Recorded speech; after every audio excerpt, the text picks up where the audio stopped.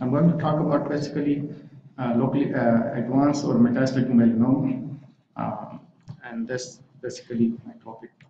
Um, whenever we see a patient with a melanoma, several questions come to the mind, and some of the question is whether how to treat this patient with a metastatic locally advanced melanoma, or which patient should be treated, and what is the objective of the therapy? Is the disease is curable or palliative? um, what regimen, dose, and schedule should be used, and can we personalize the therapy based on the molecular characteristic of a tumor. Now, how big is the problem melanoma? If you look at the incidence um, in the males, it counts uh, fifth in terms of the incidence, and total number of cases 42,000. It's around 5% of the total incidence of the malignancy, while it is seventh in the female. Now, if you look at the incidence 2015, the incidence of most of the cancer is going down. While if you look at the melanoma, whether it's a man's or the women's, the incidence keep increasing, keep rising. But good thing is most of the disease is local disease and most of the patients are cured with the surgical resection. About 5 to 10% of the patients do have metastatic disease at the time of presentation. Another way to look at it is among cancer in patients under the age of 40, uh, the incidence of melanoma is second only to that of the breast cancer in the women's and to the leukemia in men's. So this just tells you how big is the problem. As far as the mortality is concerned, there are about 46,000 cases uh, died because of the melanoma in 2008, which increased to 48,000 in 2010, which is an increase of 5%, and there's an expectation that it may increase by 20%, by 28% by 2020, and probably it will be over 62,000. Now, if you look at all the publication up until 2010, there were more than 3,000 publications in melanoma metastatic disease, and none of the different chemotherapy regimens used showed any improvement in overall outcome. And these were the drugs which were approved uh, in 1967. Uh, hydroxyurea was approved by the FDA with the response rate report 10%. Dacarbazine was approved in 1975 based on one phase two trial with the response rate of about 23%. The survival in general of the metastatic melanoma range 5 to 9%, 5 to 9 months with no evidence in overall survival benefit of any treatment. If you look at the combination of chemotherapy versus single agent DTIC, the combination has better response rate comparing single agent, but again, there's no improvement in overall survival, and the combination, of course, increases the toxicity. What about the TKIs? There was a one phase three trial using um, uh, sorafenib with the chemotherapy including combination with Taxol carbo with and without sorafenib. This was published in 2007. And as you can see, there's no improvement in overall response rate, benefit, disease-free survival, or overall survival. So there's no chemotherapy, there's no TKI which can change the outcome of the course of the patient with the metastatic melanoma. So in general, response to chemotherapy is about reported to be 10 to 20%. Combining drugs improves the response rate, but there's no evidence there's an improvement in overall survival, and of course, there's an increase in the toxicity. And there's no role of second-line chemotherapy. And this was one of the quotations from Dr. Sondak, who presented in 2010 in ASCO, and he says there's no documented improvement in survival over the past 30 years. Uh, no new FDA-approved drugs for melanoma from 1992 to 2011. Until this year, first-line therapy of questionable value or supportive care, no established second-line therapy at all, no proven role of combination chemotherapy. So this is we were in just few years ago up until 2011. Now comes, uh, there's a change, now melanoma become the uh, model cancer where all these uh, saga for the immunotherapy started and it, it improved the outcome. And the first thing was in 2011, uh, came is a targeted therapy. Now, basically, targeted therapy that you identify a specific target on the tumor cell and you hit that target with a drug with the hope that it will control the disease. But it is not so easy because you only identify one target, but there are a lot of other underlying interconnected pathways And that's why in melanoma, none of the target therapy cure the patient. There's an improvement in survival, but none of the uh, target therapy, as of now, cures the patient. Now, the target which are identified most common in the in the melanoma is BRAF is the most common, which is a which is found in 40 to 50 percent of the cases, followed by CDK4, which is in 34 or 35 percent, CCND1 20 percent, and CKIT in about 2 to 3 percent, and NRAS in about 15 percent. So most of the work is on this BRAF and MEK pathways. Now, basically, what happened that when you block this BRAF or MK pathway and MEK pathway, basically you control the internal um, stimulation of the pathways which are responsible for the growth of the tumor. So if you block them, either BRAF alone with the dabrafenib and, the vemurafenib, or in combination with trametinib or cobimetinib, you try to control the uh, tumor progression.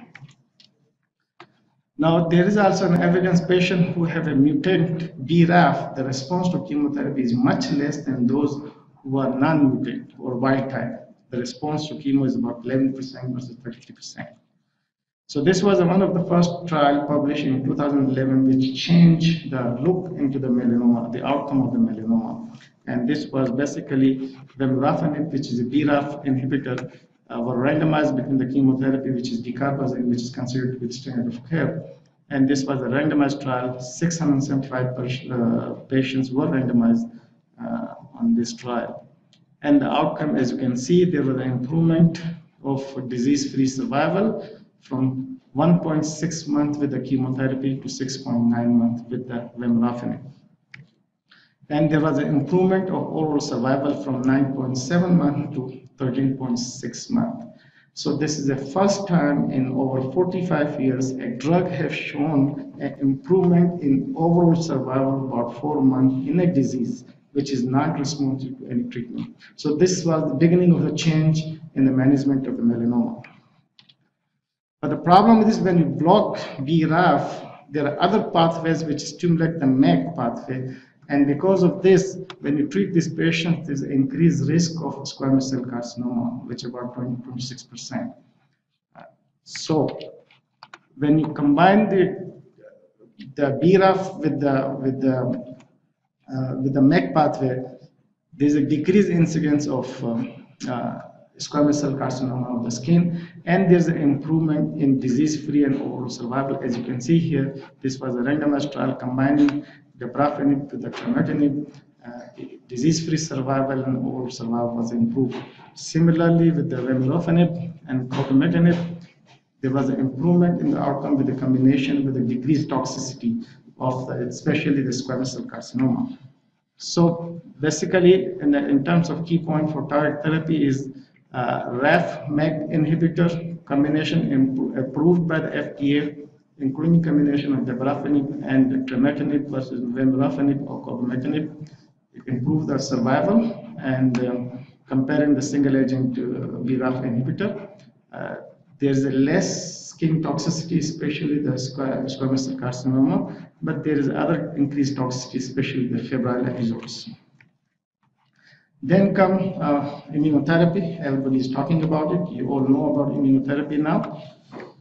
And basically what happens in immunotherapy is you have a specific, you stimulate basically your immune system. Your immune system will take care of the cancer cells. That's the theory behind it.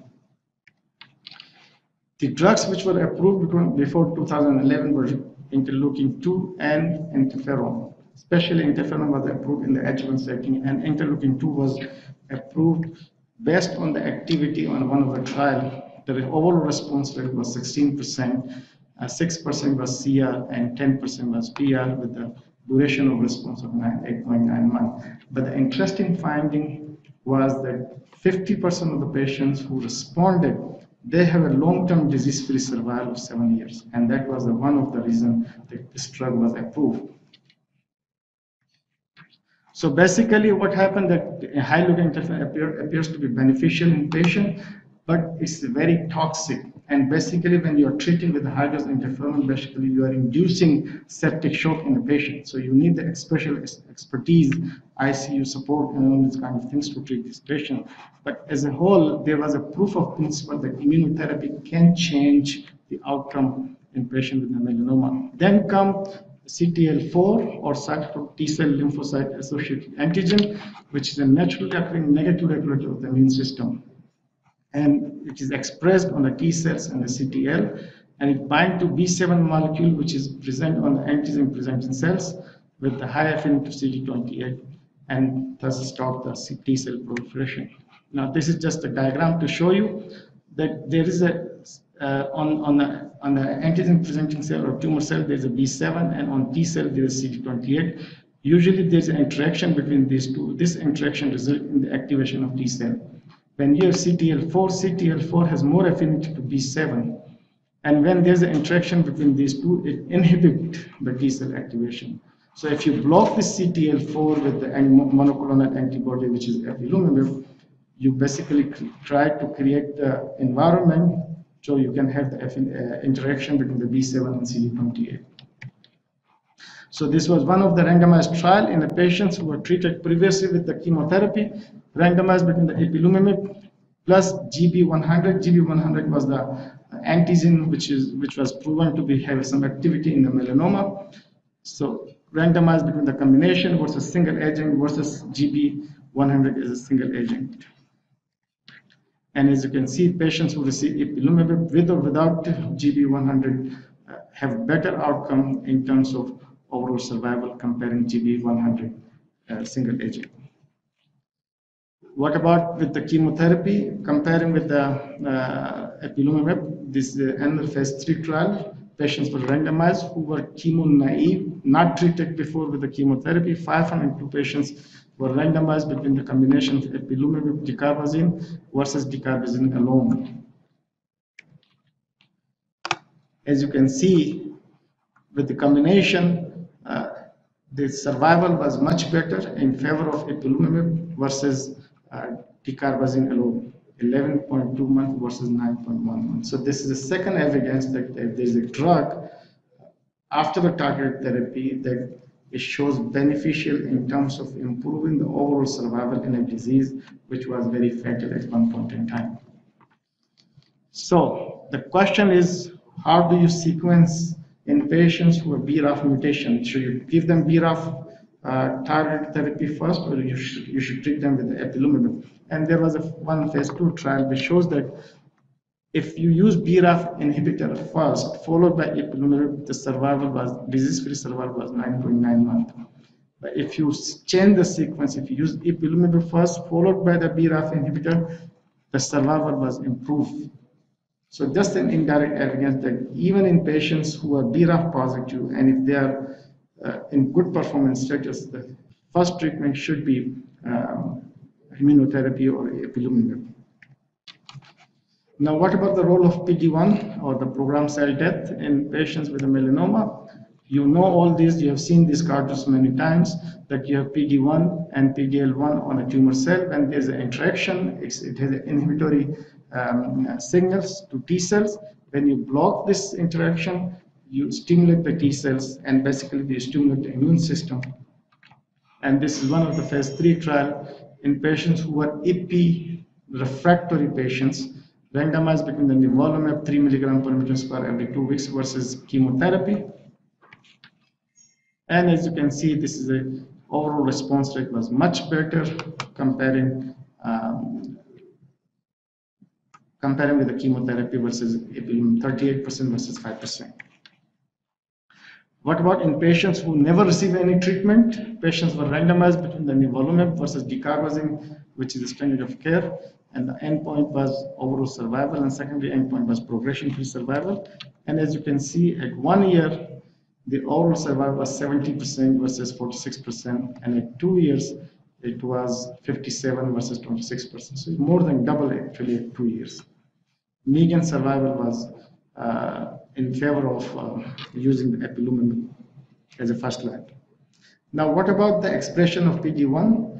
any patients, whether they are negative or positive, they all benefited from the uh, uh, from the PD-1 uh, treatment, nivolumab. Of course, those who are positive, their response was much better than those who were negative. But comparing negative or positive with the chemotherapy, they all benefited with the nivolumab. At one year, 70% were 46% of the patients were alive. Treatment response rate was 40% versus 14%. What about the pembrolizumab, which is another PD-1 uh, antibody? And uh, this was a randomized trial using uh, in patients with epi-refractory melanoma. They were randomized between pembrolizumab 2 milligram q3 weeks versus 10 milligram q3 weeks versus chemotherapy. And as you can see, the response rate with the pembrolizumab, whether it's 2 milligram or 10 milligram, was better than the chemotherapy. And so is the disease-free survival, progression-free survival, 20, 16 to 21 months versus 0.6 month. And overall survival was better, 11 versus uh, 14 and 3.4 month. But it was not as expected, but it was still better. Um, uh, so there was basically no difference between the 10 milligram pembrolizumab versus 3 milligram pembrolizumab. And so that becomes the standard of care is 3 milligram per meter square. Another trial comparing uh, pembrolizumab with the ipilimumab. And here you can see 10 milligram of ipilimumab, uh, pembrolizumab Q3, Q2 weeks versus Q3 weeks versus ipilimumab 3 milligram per meter square for four doses. And as you can see at 12 months, it was much better in favor of pembrolizumab. So whether you use nivolumab comparing ipilimumab or whether you use pembrolizumab comparing ipilimumab, the activity of nivolumab or pembrolizumab is much better in terms of overall survival benefit and disease-free survival benefit. So the next logical question is combine these two drugs which are most active in this disease, which is PD-L1 and the CTL4, which is ipilimumab.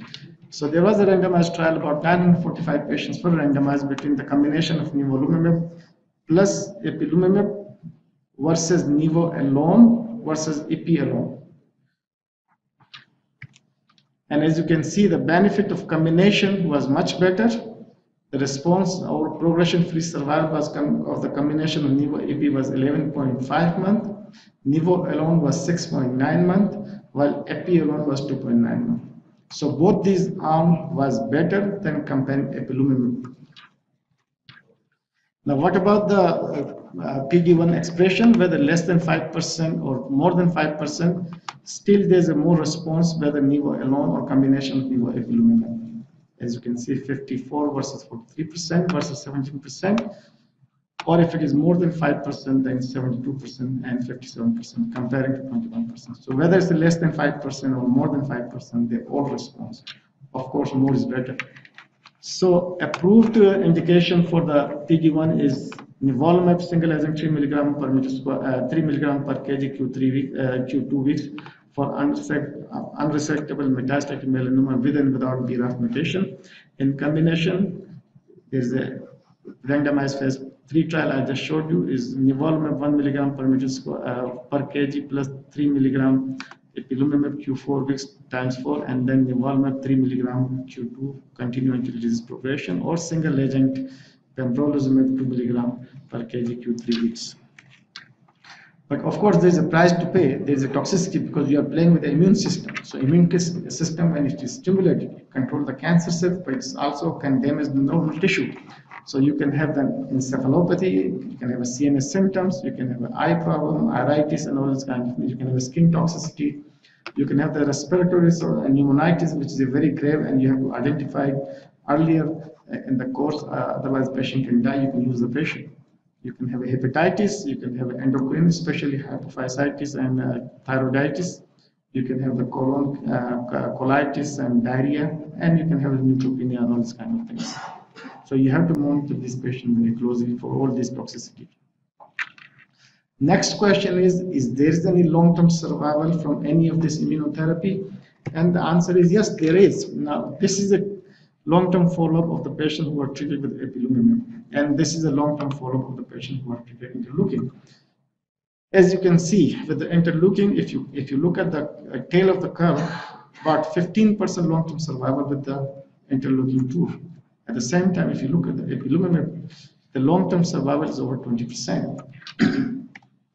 now, this is a follow-up of about 1,861 patients who were treated with the ipilimumab. And as you can see, the three-year overall survival is about 22%. So patients who survive three years, they usually survive and they are cured. So there are about 20% of these patients can have a long-term survival in a disease which was very fatal up until before 2011. What about the long-term survival for nivolumab? As you can see, the long-term follow-up of this four-year uh, four-year follow-up on this uh, CheckMate 003. Uh, as you can see, the one-year survival is 63%, and the four-year survival is 42%. This is nivolumab, and what about the pembrolizumab? 40% three-year survival, and 45% for those patients who were not treated with the ipilimumab before. So what to do first? Factors to consider BRAF status if wild type only immunotherapy is an option. Disease burden, if you have a BRAF mutated patient with a high disease burden on poor performance status and you need immediate response, then you should treat that with the patient with the target therapy as a first line. If the disease burden is low, you can start with the immunotherapy. Patient with a good performance, uh, consider combining PDL1 with the CTL4 combination. Patient in the poor performance status with, without uh, BRAF mutation, uh, consider them treating them with a single agent uh, nivolumab or PD1. So this is where we are. We started in 1975 with a dacarbazine then we have interferon alpha, which it was approved as adjuvant in 1990. Then in 97, we have approval of the high dose IL-2. Then after 2011, we have approval of all these different drugs, including ipilimumab, vemurafenib, dabrafenib, trametinib, pembrolizumab, and in 2016, combination of vemurafenib and cobimetinib.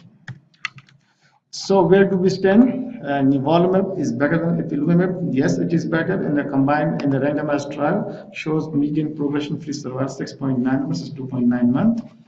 What about pembro? Is it better than ipilimumab? Yes, it is better in the randomized trial 5.5 month versus 4.1 month. Uh, Q3 weeks versus two, Q2 weeks versus 2.8 month. Is Nivo combination with the AP is better than AP? Yes, in a randomized trial, progression-free survival 11.5 versus 2.9 month. Is Nivo plus AP better than Nivo? Yes, combination is better than the single agent nivolumab. Nivo then AP or vice versa. This was a phase two trial in which patients were treated in a different way, whether they receive nivolumab first or ipilimumab first. Patient who received nivolumab first, they did better than the ipilimumab patients. What about the BRAF and MEK combination is better than BRAF alone. I showed you this combination is better. Survival 11.4 versus 7.3 month. IO before BRAF MEK combination versus BRAF. There is evidence uh, based on the phase 2 trial that immunotherapy first is better in patients who are in good performance status comparing the combination of BRAF and the MEK. Combining BRAF, uh, combining immunotherapy and BRAF MEK is the ongoing trial under evaluation. So this is where we are in 2017. Immunotherapy given inhibitor CTL4 inhibitor IL2 they are approved. Therapy BRAF, MEK, and KIT approved. There are 10 different combinations, or all these different combinations are used. Future direction is incorporating new therapies in the adjuvant setting. Combination of all these different drugs. Management of the resistance is an issue. Sequencing therapy, how do you sequence, which one you should do first? There's no phase 3 trial, probably it will be done in the future. So in conclusion, immunotherapy can produce durable anti-tumor response in some patients with the cancer treatment of patients with immune checkpoint inhibitor can be different than with the conventional therapy. There are a number of challenges particularly resistant to the therapy and work is in progress to combine different target therapies to overcome the resistance and prolong the survival. Now this is just a question, if somebody wants to answer it. Preferred first line management of metastatic melanoma without BRAF mutation is close observation, ipilimumab, vemurafenib, anti-PD-1 antibody. Anybody want to answer the question?